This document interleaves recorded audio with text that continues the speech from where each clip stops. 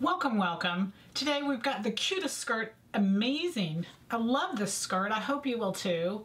I, am using the pattern of the month, 2009 Vera skirt. That's the beginning of it. Because I saw this. This is um, Altuzarra. Altuzarra is a designer, Joseph Altuzarra. It's A-L-T-U-Z-A-R-R-A. He was born in Paris. He's a French designer, um, born and raised in Paris. Launched a a line, um, I think in 2008, somewhere in there. So relatively young, new designer, has a beautiful job. And I watch him all the time just on different things he does. And I would recommend you do it too.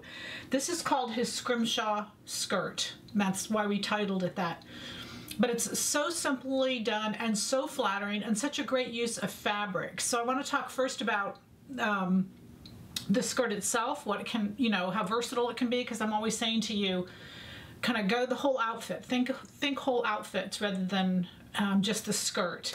We love the skirt, but we still want to think whole outfit and then work it backwards. And then we'll talk the pattern, and then we'll talk fabric combinations and whole this whole process. Okay, so we first saw the skirt. If you go to uh, Altuzarra, the, the website.com, you can see the skirt and go, put in scrimshaw skirt, scrimshaw skirt, you can see a movement of it. And what you'll see in that is that there's slits at every joint. I didn't do that. I didn't want that many slits.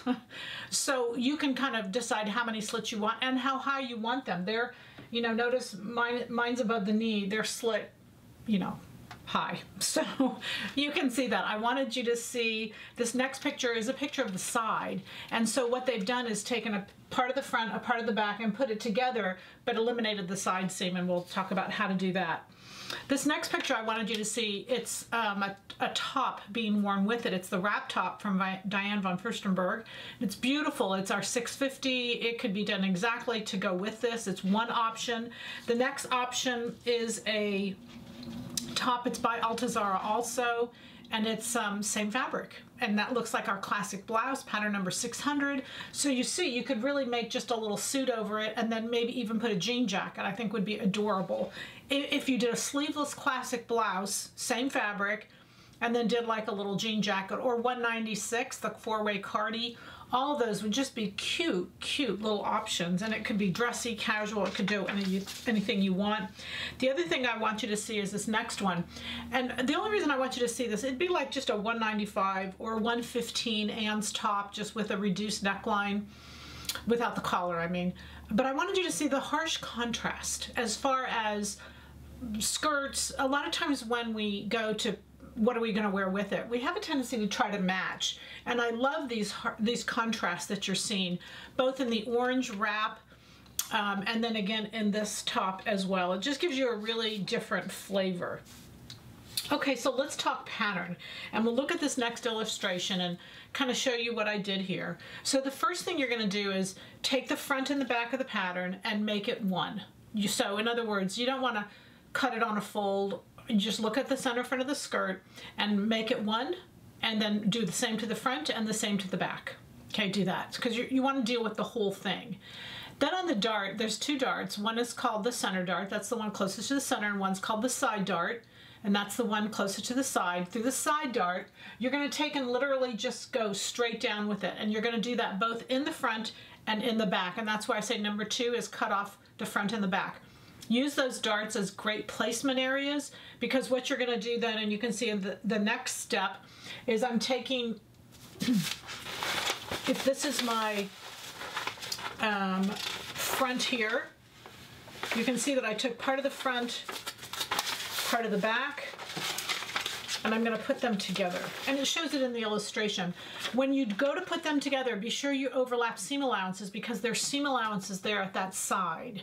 So both of those side pieces have seam allowance. Make sure you're overlapping them. And what's left, you're going to find that you have a little dart right there at the top. And so in order to get rid of that side seam, keep the dart. That's a good thing. You want it to have you don't want to destroy the fit. And so I put a little circle around there so you can see that you want to just sew that whatever doesn't match as a dart at the top. Very simple to do. And so now you see that you've just got three pieces. You've got the front, and this is straight on me, but it's crooked on this little mannequin. But anyway, goes to show you how crooked I am. It, you've got the back, you've got the side, and then you've got the front. Now I went ahead and is lined, but I did the lining pieces exactly the same. So in the original pattern, I took away the lining pieces. I still used my two facing pieces. Those were no problem. And then I just made the lining minus those facing pieces. You have an invisible zipper. This, this one that I looked at has an invisible zipper almost always invisible zippers on the left hand side. That's kind of like just a rule. This invisible zipper is on the right hand side. So we have invisible zippers on the site, no big deal. Add one to your cart and I and then it's longer than you'll need. So you just put it in and then I just cut it off. And so it's on the right hand side and it just looks great. And then your slit is in this front opening. Well, the, the one slit, you can put slits wherever you want, but I put this just in the front on the left hand side between the center front and the side front piece. And so what I did is I serged that whole entire piece when I was sewing it and then stitched it together with a sewing machine and so that they could fold back and then the lining's just inside and I did the exact same thing to the lining. Okay, so that is ideas of the skirt, what to wear with it so you get a complete look and complete outfit. I am using, I use two yards. It's fabric number 3532. It's 100% Italian cotton. I mean, it's just beautiful. It's beautiful to sew with. I just absolutely loved it. So like I said, I used two yards and that was just because you're gonna place these panels different directions. When you're using a striped effect, obviously this, just the side is gonna be horizontal because it gives you a really slimming look, but I can see it also in the side being black and the rest of the skirt being you know, a summer color. So there's so many things you can do with it as far as fabric placement on the cloth, a border print here and the rest solid. It just, my mind goes crazy when I think of all those options and hopefully yours as well. So this scrimshaw skirt is really fun. It's really simple. It worked up very quick and I can see that it's just a great base to the wardrobe. If I had enough fabric left, I think it'd have been adorable to do a little black and white or navy and white to match my jacket, but I, I, don't have enough fabric, so I shouldn't even go there. All right, so the goal is to have happy sewing just so that I don't get as many emails. The shirt I have on, the t-shirt I have on is 215. It's Nikki's top.